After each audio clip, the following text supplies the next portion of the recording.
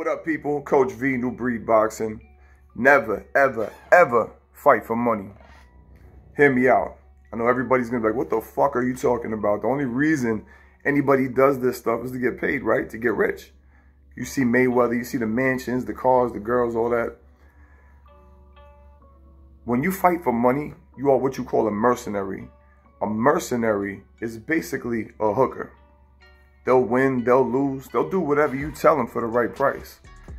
You don't want to be a mercenary. You want to be a professional warrior.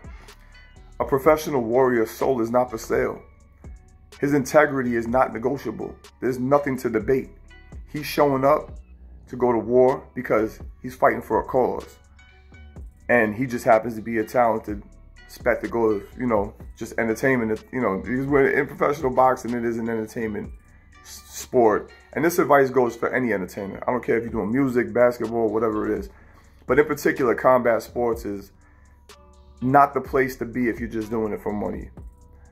Perfect example. First time I saw Pacquiao in the ring on HBO back in the day, the look on his face was just pure, just contentment and happiness. He looked like the sun shining on a thousand you know what I'm saying, kilowatts. Like this dude was so happy. And I know, yeah, he was happy he was getting paid.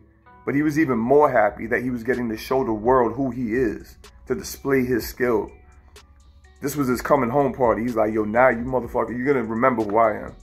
After today, you're to see this and you're to ask my name. And again, that's the biggest compliment for a fighter is when people want to know what your real government name is. A, because they want to watch you again. And B, because they never want to be on the other side of the ring. But that's another thing. Yeah, Mayweather.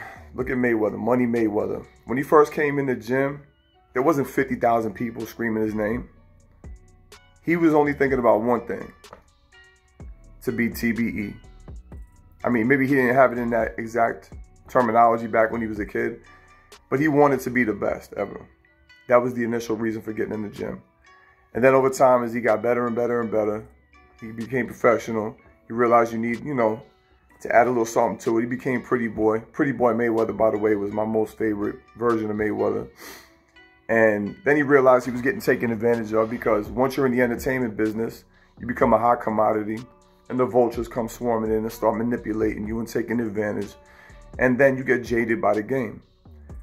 And you got to know, that's why it's important to have the right people around you also. If you're going to take it to that level, once you start reaching a point where you're doing this for a career, if you don't have the right team around you, it's only a matter of time before somebody takes advantage of you and robs you of your passion.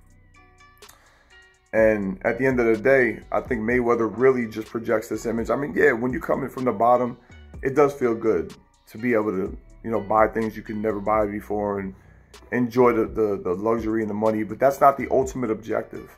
The ultimate objective should never be money. It should be attaching yourself to a greater purpose. Whether you're fighting for a cause or you're fighting for a person or personal reasons, that's got to be your motivation.